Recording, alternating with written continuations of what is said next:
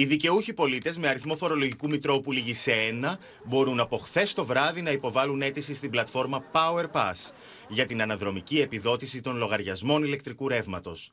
Προς το παρόν, οι αιτήσεις υποβάλλονται μόνο ψηφιακά. Έχετε δει μεγάλες αυξήσεις στους λογαριασμούς σας; Ο τελευταίος 1500. Σε σχέση με πέρυσι την αντίστοιχη περίοδο; Τεράστια. Τουλάχιστον 300% πάνω. Ο δικαιούχος μπαίνει στην πλατφόρμα με τους κωδικούς TaxisNet και επιβεβαιώνει τα στοιχεία του.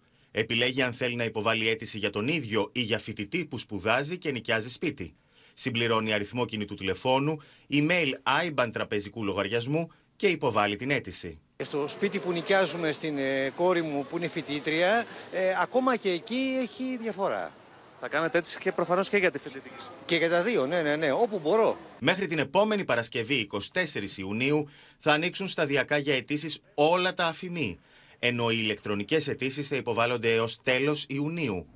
Τα ποσά των αναδρομικών θα κυμαίνονται από 18 έως 600 ευρώ και θα πληρωθούν το πρώτο δεκαήμερο του Ιουλίου. Τα αναδρομικά στο ρεύμα αφορούν λογαριασμούς που έχουν έρθει στους καταναλωτές από 1η Δεκεμβρίου του 2021 έως 31 Μαΐου του 2022. Δικαιούχοι είναι όσοι έχουν καθαρό οικογενειακό εισόδημα έως 45.000 ευρώ, ενώ μπορούν να υποβάλουν αίτηση και για παιδιά φοιτητές που νοικιάζουν σπίτι. Όσοι βλέπουν λάθος στοιχεία μπορούν να τα διορθώσουν ηλεκτρονικά. Χθες το βράδυ κατατέθηκε στη Βουλή η νομοθετική ρύθμιση για τον μηχανισμό μεταπλαφών που θέλει να εφαρμόσει στην αγορά ηλεκτρικού ρεύματος η κυβέρνηση, ώστε να ξεφουσκώσουν οι λογαριασμοί.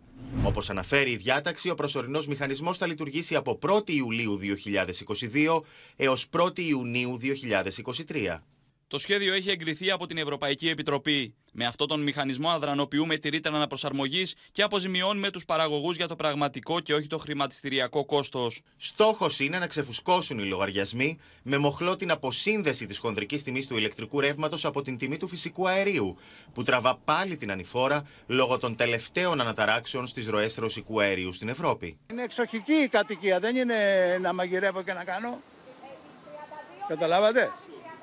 Και σας ήρθε, αν μπορείτε να μου Μας ήρθε 1841 ευρώ. Ο νέος μηχανισμός θα αυξήσει τη δεξαμενή των κονδυλίων για τις κρατικές επιδοτήσεις στο ρεύμα, ώστε αυτές να αυξηθούν και να ρίξουν έτσι την τελική τιμή στη λιανική κοντά στα 15 με 16 λεπτά του ευρώ, από 23 έως 33 λεπτά του ευρώ σήμερα.